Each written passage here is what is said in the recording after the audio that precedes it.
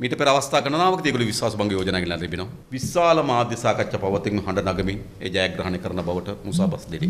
හැබැයි හැම අවස්ථාවකදීම ජනතා විමුක්ති පෙරමුණ එම ගෙනාපු අත මොනතරම් කළුද මොනතරම් අපිරිසුදු කෙනක ගැන සැලකිලි ලක් නොකොට අපි ඒ විශ්වාස භංග යෝජනා වෙනුවෙන් සහාය දීපු දේශපාලන ව්‍යාපාරය. හැබැයි ඒගොල්ලන්ට තමන්ගේම මන්ත්‍රී කණ්ඩායම කැඳවා ගන්න බැරි වුණු කට්ටිය ජනතා විමුක්තිමුට ඇඟිලි දික් කරනවා. මම අහනවා මේ විශ්වාස භංග යෝජනාවේදී උන් කණ්ඩායම නායකයා බවට පත් වෙලා හිටපු මහින්ද රාජපක්ෂ කොයිද හිටියේ කියලා. ඒගොල්ලෝ මග ඇරලා ගියා. ඒගොල්ලෝ චන්ද විශ්වන්න ආවේ නෑ. රිසාත් බදුද්දීන් අමාත්‍යවරයාගේ විශ්වාස භංග යෝජනාව නිශ්චිත පරිදි පාර්ලිමේන්තුවේ සාකච්ඡාවට බඳුන් කරන අවස්ථාවේදී අපි මේ රටේ ජනතාවට සහතිකයක් දෙනවා. අපි නියෝජනය කරන්නේ ජනතාවගේ වුණාව බව. ඒ කරුණු සත්‍යනවා. ඒ කරුණට වළංගු භාවයක් තිබෙනවනේ. ඔහු විශ්වාස භංගයක් කරහා අමාත්‍ය දූරින් නිරපැහැරීම පමණක් නෙවෙයි අපරාධ පරීක්ෂණ දෙපාර්තමේන්තුව වෙත ගොස් පැමිණිලි කොට පරීක්ෂණ කොට අත්අඩංගුවට අරගෙන දඬුවම් ලබා දී.